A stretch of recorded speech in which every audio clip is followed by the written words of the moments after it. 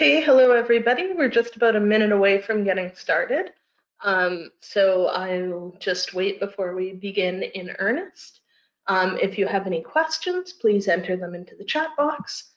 And uh, hopefully you can see me and hear me.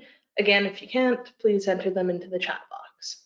Um, but I will get started uh, right now, actually. So let's uh, let's begin as soon as my slides load. Okay, so today I'm going to be talking about Read by QXMD. Um, and I'll just be sort of walking you through it. Uh, perhaps you've heard of it, perhaps you haven't, perhaps you've used it, um, but hopefully there will be something here for all of you. Uh, so in terms of what I'm going to cover today, I'm going to briefly describe the WRHA virtual library and its services, including what services we're offering during the COVID-19 crisis and which ones we aren't. Um, I will describe what Read by QXMD is and how it can help you. I'm going to demonstrate how to set up Read QXMD or by QXMD on both desktop and on mobile. And I'm going to demonstrate uh, how to link uh, Read to the WRHA virtual library in order to access the subscription content that the virtual library has that if you weren't connect, if you didn't connect your Read, you'd hit a paywall at. Um, and then I'm going to generally demonstrate how to use it. So to begin, uh, the WRHA Virtual Library, who are we?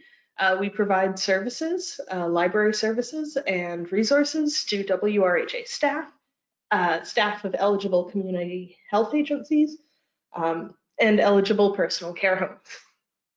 Um, so we provide access to an array of electronic databases and online resources, so Medline, CINAHL, um, well, there are quite a few other ones, up UpToDate, uh, Lexicomp. Um, and if you go to our website and go to the A to Z list, you'll see the listing of resources that we have access to. Um, we also provide library services, including literature searches, uh, document delivery. So if there's something that we don't have access to that you want at like direct access to that you still want, you can put in a request through document delivery and we'll send it to you. Um, normally, we would be able to provide you with physical books and items. Uh, right now, during the COVID-19 crisis, we aren't providing physical resources, we're only providing electronic resources. So that's the extent of the services that have been curtailed by COVID-19. Everything else is functioning as normal. Um, we also do education and training sessions. Um, in this case, there'll be online education training sessions. Uh, so like this one, or we'll do ones on request on any topic that you want to talk about or that you want us to talk about as long as it's, you know, within the wheelhouse of a librarian. Um, so that's who we are. Uh, if you have any questions, feel free to ask. Um, so what is READ? Uh, it's a personalized tool for accessing and tracking information. I, I, think the best way to word it is it's sort of an aggregating service. Um, so if you want to keep track of, say, specific journals or specific articles or specific subject areas, topics, that sort of thing, you can use Read to put together these lists and then you'll get notifications, you'll get alerts uh, when new information is available uh, from this journal, from this author, or in this subject area and it'll be sent right to your your phone or your email or whatever you decide to have it set up as. Um, you can also annotate content in Read. So if you wanted to, if you had a, an article that you thought was really good and you wanted to make a point of it, um, you can jot that down in there. Um, and you can make these comments public. Um, you can also create collections. Uh, so if you're if you're collecting or if you have articles on a specific topic and you you want to either keep them for yourself to reference later like these ones were really good for this area that i'm looking at or you wanted to share it with your colleagues put it together and say you should be reading these articles you should be looking at these articles. Um, you can do that in read as well. So it's not just a service for you it's a service that can be used to help you connect with others, to help you um, work together with uh, your colleagues, um, either here or elsewhere. Uh, so getting set up, uh, this is a little flyer that they sent us, the QXMD team. Um, and it's it's got all the information you need really to get started. Um, and if this was a physical in-person session, I would actually be handing these out to all of you, but it's not. Um, so that's fine. Uh, but I'll still walk through all of these steps because it, you know, it helps to see it happen. Um, and a note, if you go to the virtual library page, um, in our uh, find information section, we have an area or a page that's dedicated to read what it is, setting it up, um, making sure that you've connected it to the WRHA virtual library. So that's sort of like the Coles Notes version of this talk that I'm giving you today. Um, and so you can see the website there at the bottom, uh, our, our general page slash WRHA slash read underscore by underscore QXMD. Um, so you can just go there instead of going through all the steps that I've posted here because it's got the same information um, that I will be covering as well. Um, so in terms of the desktop setup, if you want to have this set up on your computer, uh, you want to go to the site that I've listed at the bottom of this page, https colon slash slash read.qxmd.com. Um, and you'll see something that looks like this. Now, I couldn't quite go through the desktop version of it because, well, because I'd already I've already set up my account, and so having you know I can I can only sort of um, I can only log in, so I couldn't take screen caps for you. But um, you'll see in the top right hand corner there, there's a sign up button, and you'll want to click on that, and that will take you through a relatively straightforward process that will ask you information about who you are, what kind of information you're looking for, what your subject area is, that sort of thing. Um, and you can see this is what the, the desktop layout looks like. You can see that we've got, um, it's, it's put featured papers together for you. Um, but you can also see, and this will be more relevant once you log in, that there's followed journals, followed collections, my keywords, and my favorites. And so these are all things that you've put together as things that matter to you. Um, and you can also see that each one of the the papers, um, it's got the number of views and it's got the title and some of the abstract, but it's also got, oh, okay, well, these ones with green, these are reviews. And then there's the purple, and this is a randomized controlled trial. So immediately you get a sense of not only which papers are there for you, but what they are um, in a very easy to access way. And it's not necessarily set up for all of them. I suspect that that has to do with what metadata is put into their record and what read by QXMD can pull out. Um, but you still get a sense for a lot of the papers. Hmm. Okay, so uh, once you're set up, once you've got an account ready to go, you've got your account settings here. So you can see I've got my name, I've got my profession, and it's got specialities. Um, and when you select a specialty, it'll put you, it'll suggest uh, journals or topics um, to to help you get set up in following certain things. Um, unfortunately for me, there's no medical librarianship or librarianship area of this. Um, so I went down to the bottom and selected zoology just because, because why not? Um, and then you'll see under account settings, uh, now I didn't take a screen cap of this, but they've got email notifications. So this tells you, this helps you set up, well, do you want email notifications at all, or do you only want to see this when you log in to read? And if you do want email notifications, what sort of notifications do you want? And that sort of thing. So, um, and then again, when you're logged in, this is what it looks like. I sort of already went through this, uh, but you can see that the featured papers are a bit different when you've got, um, I, I followed a few different topics, and so you can see that what is selected for me is different now than when I wasn't logged in. Um, and then at the top there, you can see you can search uh, either papers or by topic. And this is searching uh, in general the content that Read has access to. Um, and it's interesting to note that when you look at the mobile version, there are more search options. Now, this is the thing, Read was developed to be a mobile app. The desktop app is not the best way to be looking at this, but uh, I mean, you've got more screen space on your desktop. You maybe don't want uh, some kind of work-related app pinging up on your phone all the time. Um, so this is this is a, a trade-off, right? Like there are benefits to having it on your desktop version, um, but there are desktop or there are benefits to having it on mobile as well. And one of the main benefits to having to using the mobile version is that it was designed for mobile and it works better on mobile. Um, but they both work fine, except for really if you want to search for collections, in which case, as far as I can tell, you basically do need the mobile version. Um, so uh, if you, once you're logged in, instead of the login in the top right-hand corner, you'll see your initials. So I've got mine there, and there's all this sort of stuff. I'm going to show you a couple of select things. We already talked about account settings. I'm not going to bother with public profile.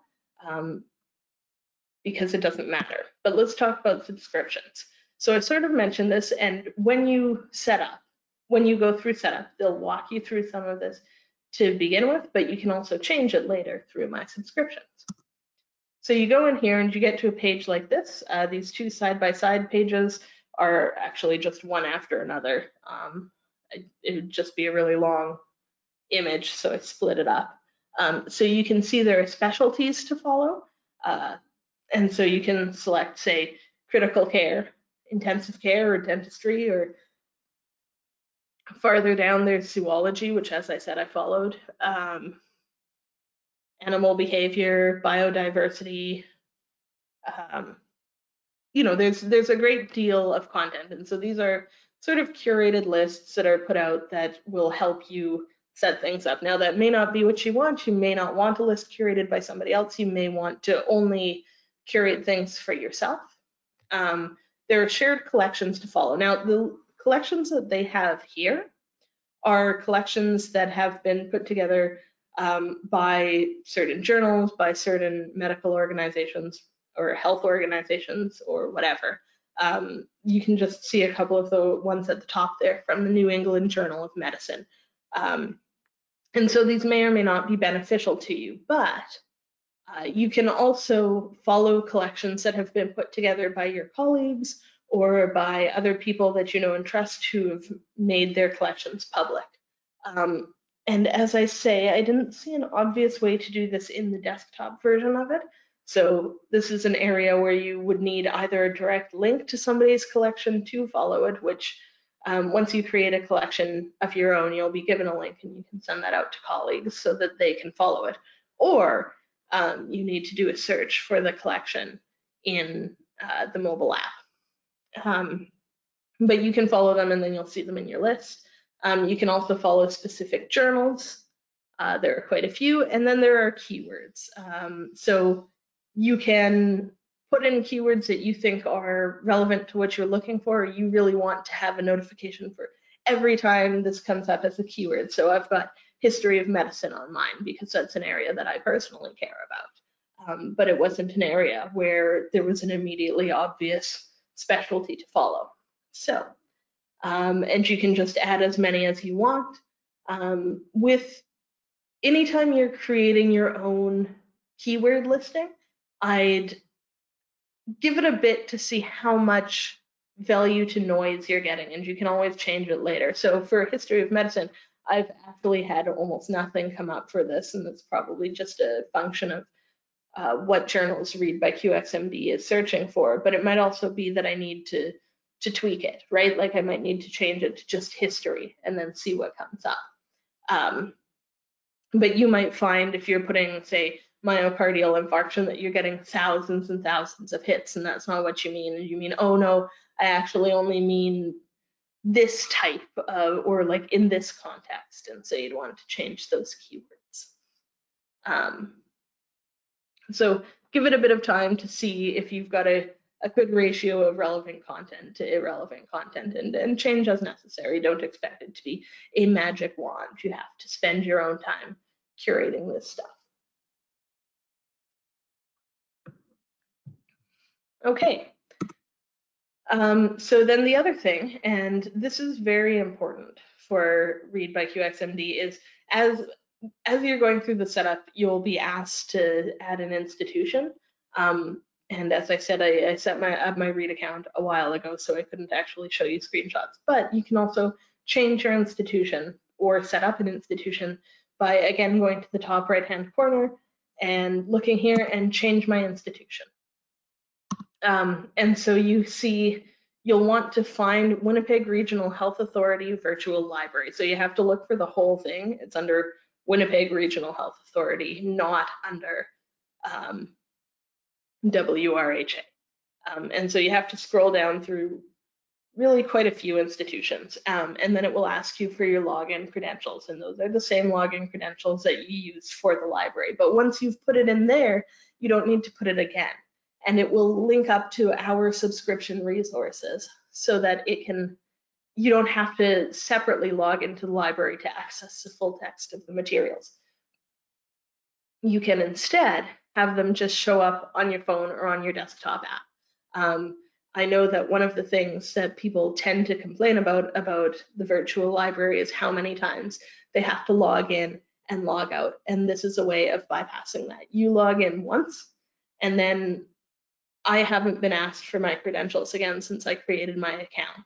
And I mean, I've actually deleted and re-downloaded and deleted and re-downloaded this app a couple of times on my phone and I barely log into it um, on on uh, the desktop not because it's not useful but because it's it's not for me it's not the best way to be accessing these resources but it is a very good tool um, and I haven't been log in in all of that time I haven't been asked to log in except for the first time that I logged in um, presumably, if you do something like change your password, you would also have to log in again.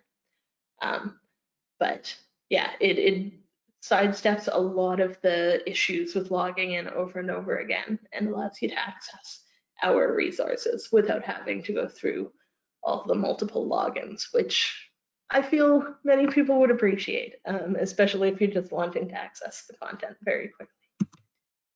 Uh, so in terms of mobile setup, you'll want to go to your app store or your Apple store. I don't have an Apple, so I don't remember what the store is called. But you go there, you look up Read by QXMD. Um, there are other QXMD products, so make sure you select this one in particular. Um, it looks like this. It's got the little file and the speech bubble. Great. Um, so then you install it, and this is what the the mobile version looks like. So I actually find it much more user friendly and much nicer looking uh, than the desktop version. So you can see I've got my featured articles here at the side, or or sorry, I've got my featured articles here in a row. Um, the little uh, unlocked ones are showing you that you have access to these resources. Um, and so if you click on, like I'll, I'll walk you through some of what is in these areas. Um, and the, the sign up process, once you're in uh, the mobile app, is very, very similar to the desktop version. So again, you just sort of have to create an account, say who you are, what your specialties are, what things you're interested in following. I'm not going to walk you through it again because it's basically the same. Um, but I will walk you through some key things. So uh, if you click, do you see the three bars on the top left hand corner? Um, you get this listing of items here. Um, so you've got my dashboard, that's the general view where we are when we begin. Uh, there's institutional access, so that's where you add your library or change your library. That's where you would add the WRHA virtual library, my account details, app settings that has to do with notifications. Uh, you know, if you wanted to actually notify you like a text message when you get something new, um, force refresh, log out, and then some general stuff. Um, so I will quickly walk you through the institutional access here because again, it is so important. You won't be getting the same quality out of Read if you don't link it up to the virtual library where we pay for subscriptions and have access to things that the general Read app won't because it will only have access to um, open access resources if you don't connect it to the virtual library. So you click on that and then again, same thing you want to uh, to log in to find Winnipeg Regional Health Authority library, virtual library. Um, and then it shows you like, oh, there's the automatic login, and then it'll show you uh, your username and that sort of thing. And, and the first time you set it up, of course, you'll have to show people, or you'll have to put in your your uh, credentials. You'll have to show the app that you actually do have access to this resource. Um, so going back to the, the featured page or the, the dashboard, um, what does the, what's the navigation of the mobile app like? Um, in the desktop, it was fairly straightforward. Everything was labeled exactly as what it is, but of course, the mobile app, it's less clear. It's little icons. So we've got the dashboard app. This takes you back to this main page. You've got followed journals. So any journal that you've decided to follow, that will take you there. You've got your followed collections, any collection that you want. Um, you've got your followed keywords again. And so if you go to any one of those, you'll see the things that you're following. Your dashboard seems to always be featured articles, and this seems to be based on um, what you said your specialties are, as well as a couple of ones that are just, they've decided they're cool articles and everybody should read them. Um, you've also got this favorites. Um, and this includes both your favorites, so articles that you have favorited, and private collections that you have created. So if you're looking for your own collection instead of the followed collections, that's where you want to go. And then there's the search function. And as I say, the search function on the mobile is better than the search function on the desktop because you can not only search papers and topics, but you can also search collections. So you can search for other people's collections if you know a colleague has created something good that you want to look at. Um, and then you can also subscribe to items. Um, like if you're if you're wanting to figure out how to subscribe to journals or collections or whatever, um, you oh I didn't draw the arrow, um, but it's in my dashboard uh, the settings where you can add new things to to subscribe to um, or oh yes I did I pointed to sorry I've got the the controls for the webinar software over top of the little arrow that I had point to my dashboard. So that's where you would add keywords, where you would add uh, journals that you wanted to search for. Um, so in terms of what does it look like when you actually get in to the article? So when you've got an article that you have and it's a PDF version, you get something like this. You can see the main page and then the other pages at the bottom there. Um, and that little grid function shows you all of the pages. So you can just, if you know what you need is on page 18, you can just click on that page directly without having to scroll through everything to find it. Um, so that's good.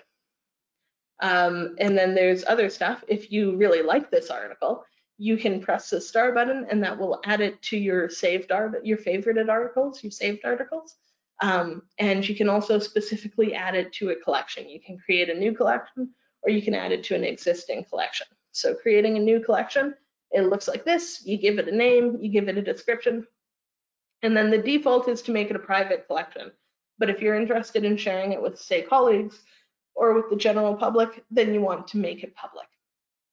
And when you make it public, uh, other people can search for it by the name of the collection, but you will also receive an email that has a link that you can share with your colleagues. And that email seems to take a couple of hours um, to get through because I created this collection last night and I didn't receive the email for with the collection uh, address until the next morning. So uh, I guess be aware of that, the time that it takes to share something like that.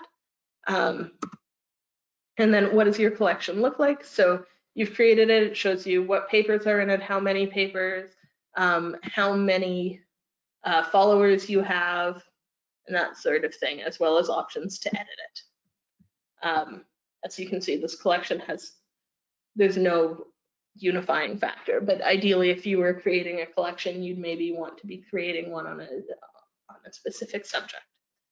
Um, you can also annotate things, as I say, uh, and basically the annotation function works like there's a comment section at the bottom.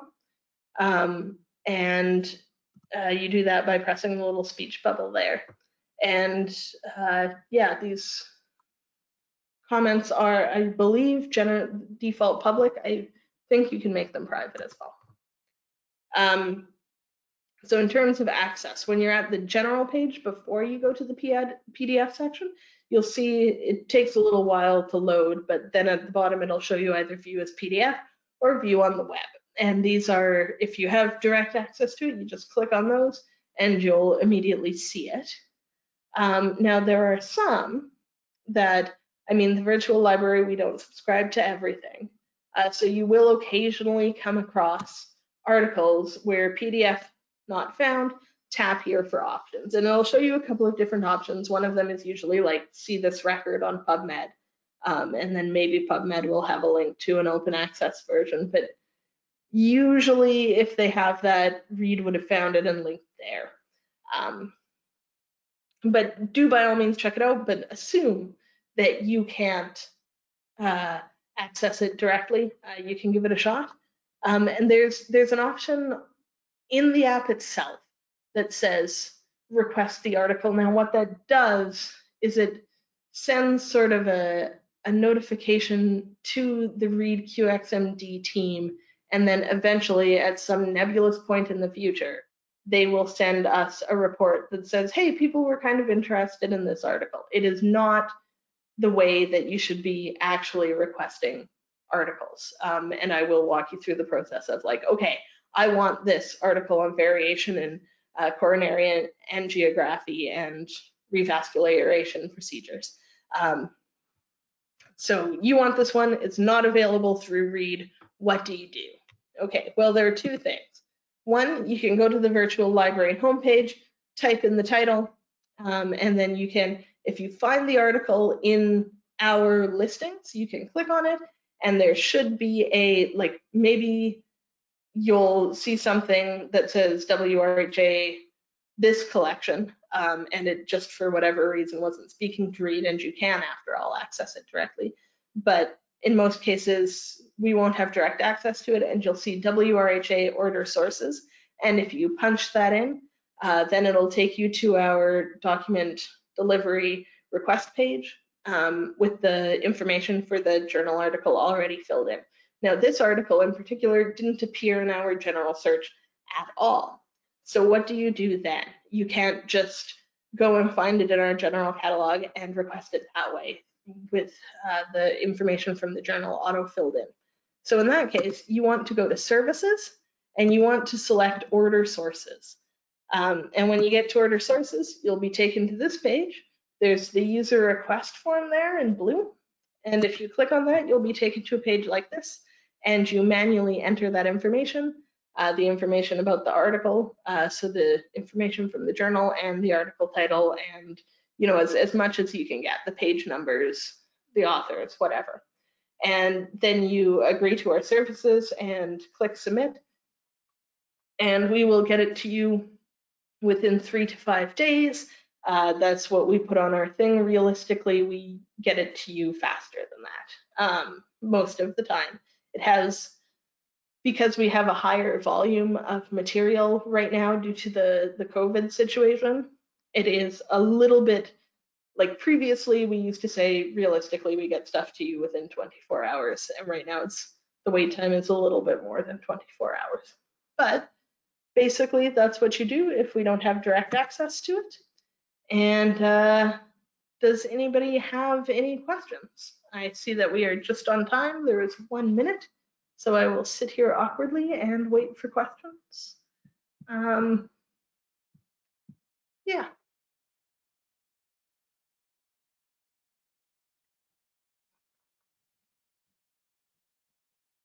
Okay, well, it doesn't look like there are any questions and it doesn't look like there's anybody here.